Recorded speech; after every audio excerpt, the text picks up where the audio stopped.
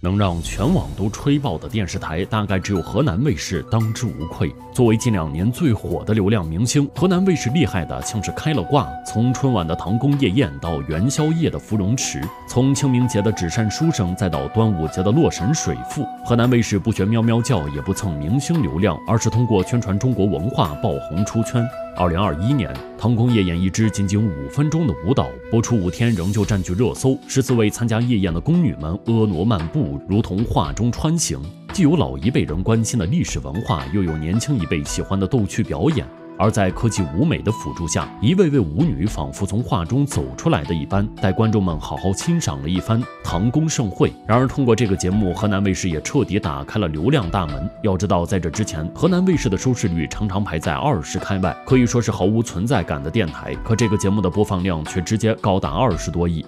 而随后，河南卫视更是不骄不躁，直接推翻原本已经录好的元宵晚会。仅仅不到十天时间，原班人马便又用一个芙蓉池节目再次直接打动人心。登城楼、月明堂、赏烟花、繁华笙歌、美轮美奂。更是带领观众们亲身亲历地体验了一把大唐盛景。然而这还没完，此后的河南卫视更是仿佛打通任督二脉，每逢佳节推出一个史前巨作，而各个节目都是让人叹为观止的程度。清明节时再出大招，一群儒雅翩翩的纸扇书生拉开清明时节的奇妙游序幕，纸扇飞舞，衣袂连连，一位位书生在舞蹈中运用纸扇的丰富变化，让观众仿佛穿越北宋，置身于清明上河图中一般。而紧接着端午时节，河南卫。卫视再次用一个洛神水赋打响名声。为了呼应洛水之神的主题，也为了纪念端午屈原文化，这支舞蹈更是在水下进行演绎。拂袖起舞，波群回转，刚劲有力，婀娜多姿。一支水下独舞，尽显翩若惊鸿，宛若游龙之美。就连外交部华春莹都在推特上发文点赞了洛神水赋，绝美又富含中原文化的舞蹈，更是连外国友人都连连惊呼。的确，你可以永远相信河南卫视的水平。而河南卫视之所以能做到，如此程度，背后也是付出了很多不为人知的心血汗水。如果要选一个这两年最火的电视台，那么河南卫视绝对首选。不蹭流量，不请大牌，却成为无数观众眼中的天花板。河南卫视到底有多用心，才能频频脱颖而出，成为焦点，把请明星的钱全都省下来花到制作中去？河南卫视不是抠门，而是真的用心制作节目。一个《洛神水赋》播放超六十亿，一夜出圈。然而，这场视觉盛宴般的水下舞蹈离不开主创团队背后的努力。短短两分钟的开场，舞蹈演员需要五十秒换一次气，而一个仅仅一百二十秒的镜头，也是用了整整二十六个小时才拍摄完成。先不说舞蹈演员有多辛苦，就连摄影师都因为长时间泡水导致毛细血管破裂。团队的一起努力，最终才将舞蹈完美演绎。而拍摄天女散花的辛苦同样不为人知，穿在天女单薄的衣。服一遍遍的在泥水中翩翩起舞，服装湿了那就把裙子抖干。极度高反就拿着氧气罐拼命吸氧，在穿着羽绒服还会冻透的天气里，又是下水又是登雪山。我们看到的是她上半身的美丽舞姿，但却看不到她下半身的泥水斑斑。我们去喊停那一刻，连演员带我们的摄影团队都是直接跪在地上的。从不把钱浪费在不该浪费的地方，但该花钱的地方却非常舍得。为了一个几分钟的节目，跑了整整八个地方，该投资的地方大大方方的下血本。比起一众古装剧披着宣传文化的外衣，却上演着玛丽苏偶像剧情节，河南卫视的一个个节目才是真正的用国风弘扬了文化自信。的确，要想拿回文化话语权，那就必须拿出这样的真作品。几大晚会评分高达九点九分，也让观众们开始反思。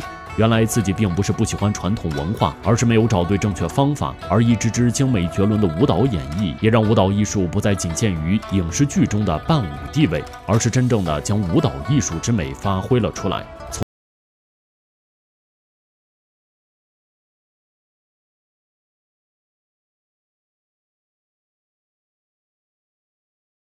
秋的莫舞中秋天。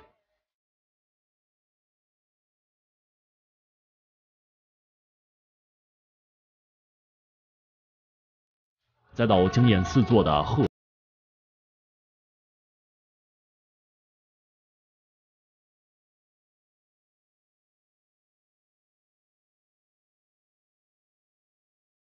柔并济。而五千年的历史也透露着文化自信。在找回国人文化审美的这条路上，河南卫视可谓是用心良苦。凭借着国风节目迅速出圈，越来越多观众开始关注河南卫视。然而，人家可不是近几年才开始走文化道路的，而是自始至终都在宣传着中国文化。被全网吹爆的河南卫视到底有多牛？当别的台都请流量鲜肉赚快钱时，河南卫视却靠着宣传中国文化爆红出圈。七夕时让仙女直接从壁画里走出来。重阳节演绎李白诗中世界，每一个节目，每一个故事，都能凭借着传统文化将其演绎，而绝美的舞台画面也彻底走进了观众内心。其实，早在几十年前的时候，河南卫视就走了宣传国风的道路。一九九四年，河南卫视推出了戏曲选秀节目《梨园春》，作为当时非常超前的节目风格，绝对是前所未有的类型。他们将全国各地热爱戏曲的群众集合起来，又是海选又是打擂，而这个节目不仅成功的在全国大江南北掀起一股戏曲热潮，更是让国民们再次认识并赏识了一番中国的文化。而后来网友们才明白，小时候不懂什么叫梨园春，长大后才发现，河南卫视竟然能把一个戏曲节目做到家喻户晓、人尽皆知。而从这儿就能看出，在传承传统文化这块，河南卫视是真的极度用心。不仅如此，河南卫视还紧接着又又推出了华域之门，带着电视机前的老百姓们一起鉴赏文物珠宝。而一档名叫《武林风》的节目，更是放在了每天的黄金时段播出，只为了能宣扬中国的传统功夫。不过这还没完，当其他的节目都疯狂录真人秀博取观众眼球的时候，二零一三年的河南卫视却又走上了宣传中国汉字的道路，独创出一档汉字英雄和成语响，也让观众们在享受竞技的娱乐之中，便把很多中国汉字潜移默化的掌握。可即便如此，河南卫视。只在一众的流量节目中，却名不见经传，甚至被很多不明所以的人抨击，请不起大牌明星。不过河南卫视却依旧没有放弃，一方面想要坚守传统文化，一方面想让更多人看到，于是一边转型一边创新，